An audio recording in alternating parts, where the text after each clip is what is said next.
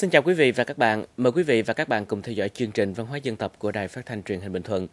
Thưa quý vị và các bạn, dân tộc Chăm là một cộng đồng hình thành từ lâu đời. Cùng gắn liền với sự lâu đời đó đã xuất hiện nhiều nét văn hóa rất độc đáo, phong phú và đa dạng. Trong chương trình Văn hóa dân tộc kỳ này, chúng tôi xin được giới thiệu đến đồng bào và các bạn về một số lễ nghi trong lễ phụng tế Poklomenai tại dòng tộc thuộc hậu duệ hoàng tộc Chăm, nhà bà Nguyễn Thị Đào ở thôn Tịnh Mỹ, xã Phan Thanh, huyện Bắc Bình, người được thừa kế lưu giữ về di tích và một số hiện vật của vua Poclomenai.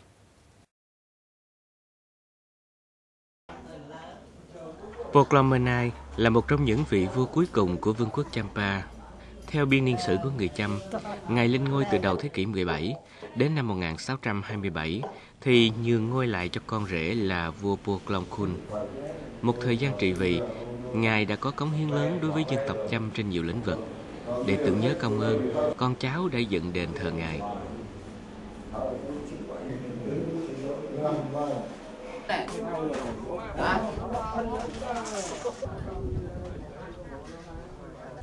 Đền thờ vua Poclomenai gồm 3 gian phòng xây theo kiểu hình chữ T, cửa chính mở về hướng đông. Trong tổng thể kiến trúc, tính tôn giáo lịch sử và nghệ thuật ngự trị lên tất cả các công trình. Trước hết là đền được xây trên đồi cao.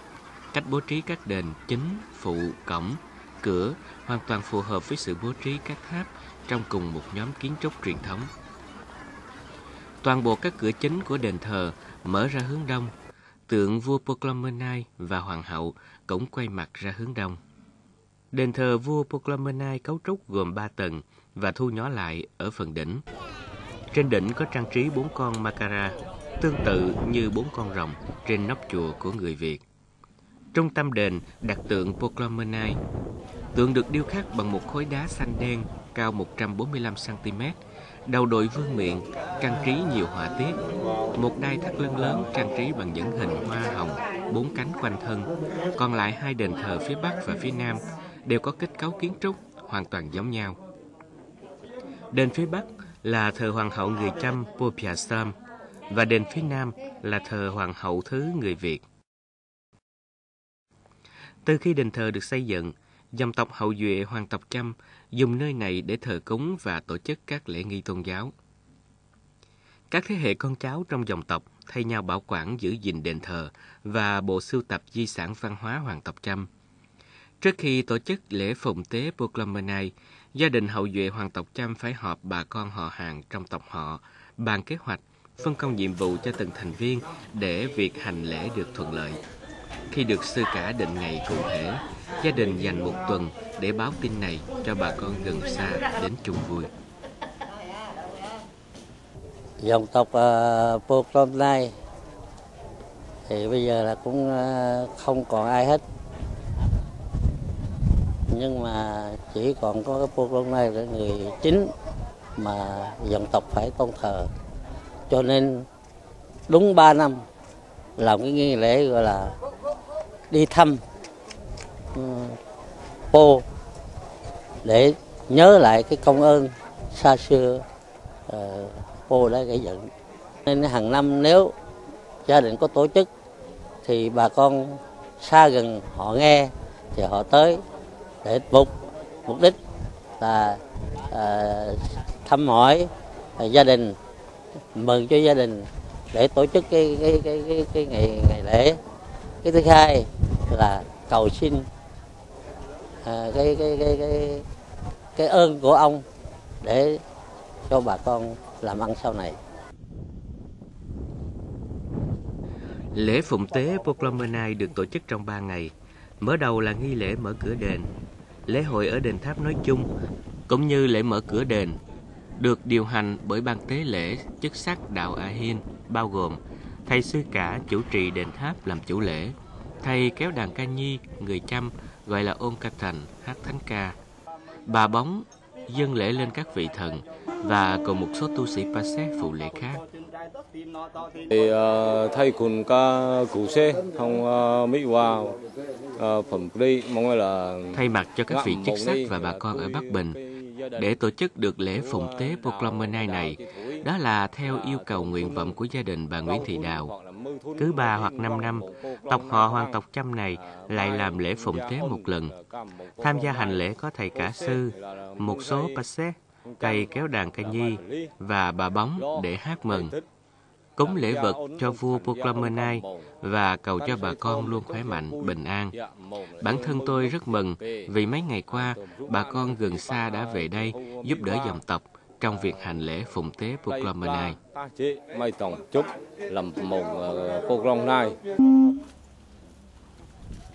Sau khi tiến hành xong nghi lễ mở cửa đền, thầy cả sư cùng một số tu sĩ Pasak tiếp tục thực hiện nghi lễ tẩy uế đền Poclamenai. Nghi lễ bắt đầu bằng việc tẩy uế xung quanh đất đền theo tám hướng.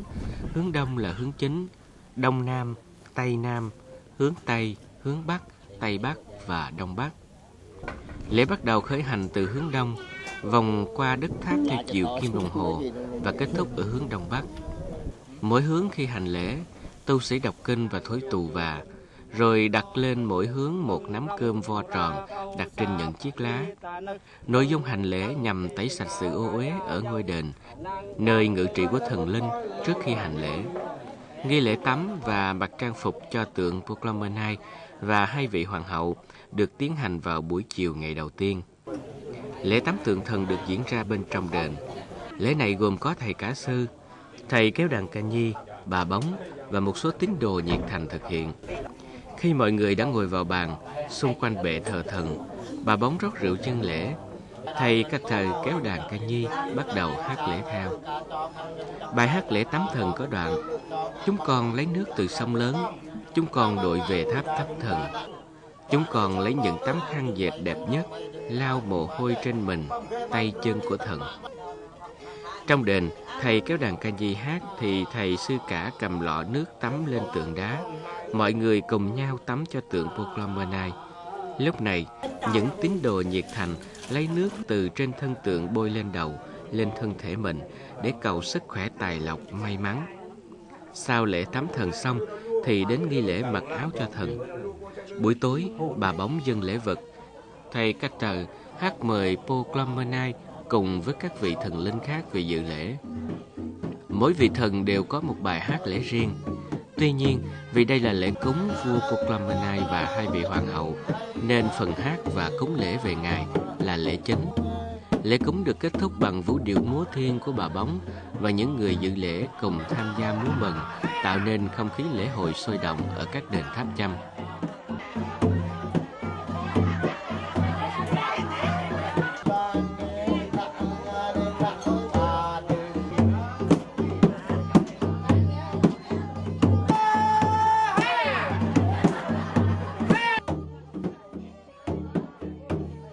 Anh Daniel, một du khách người Đức cũng tham gia nghi lễ này và tích cực múa cùng mọi người.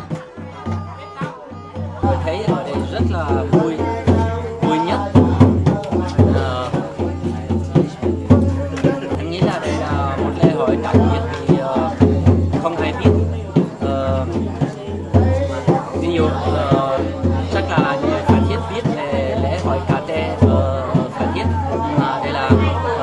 ở huyện Bắc Bình ít người biết. Nên rất là vui mừng được đồng bào chăm uh, ờ, mời mời mình đi dự lễ hôm nay Thầy sư cả cùng các tu sĩ Passet tổ chức lễ đọc kinh vào buổi tối ngày thứ hai tại đền chính.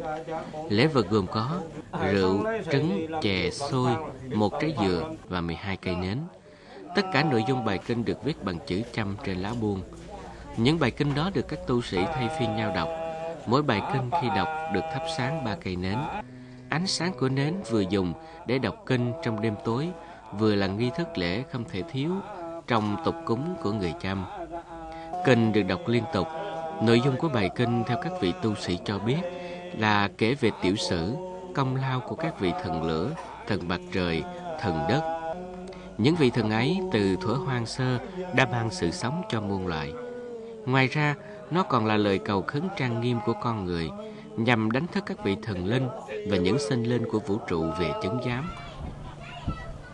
Lễ phụng tế Proclamanai được tổ chức như thế này không chỉ là ngày vui của riêng dòng tộc bà Nguyễn Thị Đào và bà con chăm theo đạo Bà La Môn, mà còn là ngày góp mặt chung vui của đông đảo mọi người ở khắp nơi về dự để cầu nguyện một năm mới bình an.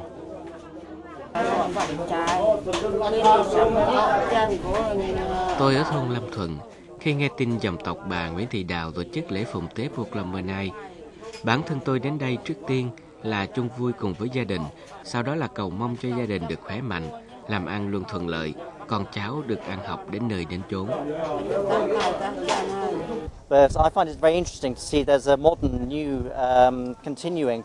Hôm nay tôi rất vui vì cũng có nhiều du khách nước ngoài đến tham quan tại đây. Điều tôi quan tâm nhất ở lễ phụng tế này là có rất nhiều phụ nữ tập trung về đây để cúng kính cho vua. Có lẽ đây là truyền thống mẫu hệ của dân tộc Chăm. Được xem một số nghi lễ ở đây, tôi thấy nhiều nét độc đáo trong văn hóa tín ngưỡng tôn giáo của cộng đồng người Chăm. Đây là lần đầu tiên chứng kiến khi về Việt Nam. Qua đây, tôi sẽ giới thiệu những nét văn hóa này với người thân của tôi cũng như các bạn bè quốc tế.